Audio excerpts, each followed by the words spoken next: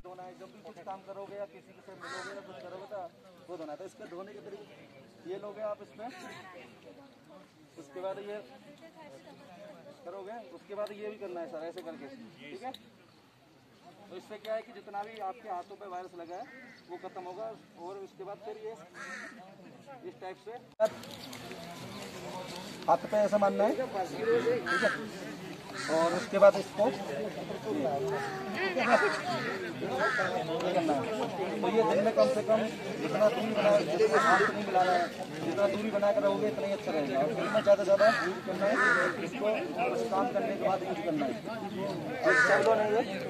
और ये hand wash तो इसको क्या करना है हैंड समझते हैं ना साबुन से हाथ धोते हैं जिसके बाद हैंड करके साबुन कर सकता है।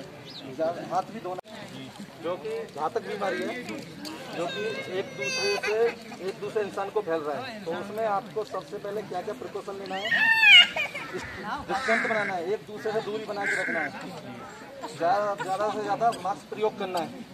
मास्क जो आपको इशू किए हुए हैं, इसीलिए किया है कि आप इसको लें और इस तरह से लगाएँ, ठीक है? ये लगाएँगे अपना, और थोड़ा दूरी बना कर रखेंगे तो ठीक है, एक दूसरे वायरस एक दूसरे में नहीं जाएगा। आपके लिए सैनिटाइजर इशू किया है।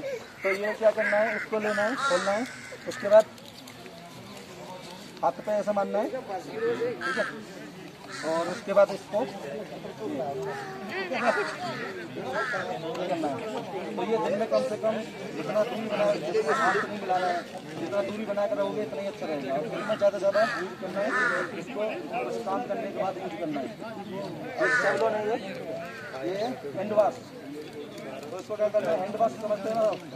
साबुन से हाथ धोते हैं जिसके बाद हैंड वॉश साबुन कर सकता है हाथ भी धोना है जब भी कुछ काम करोगे या किसी से मिलोगे या कुछ करोगे तो वो धोना है तो इसके धोने के तरीके ये लोगे आप इसमें उसके बाद ये करोगे उसके बाद ये भी करना है सर ऐसे करके ठीक है तो इससे क्या है कि जितना भी आपके हाथों पे वायरस लगा है वो खत्म होगा और उसके बाद फिर ये इस टाइप से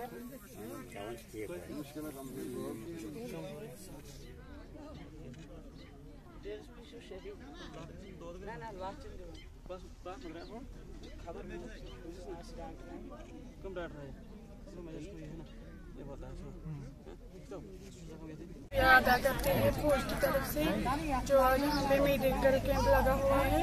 आज हमने पहली बार कि यहाँ पे आज मेडिकल कैंप लगा हुआ है क्योंकि हमें आज दवाई मिल रही है यहाँ पे। जिसको जिसको दर्द है उसको दवाई मिलती है।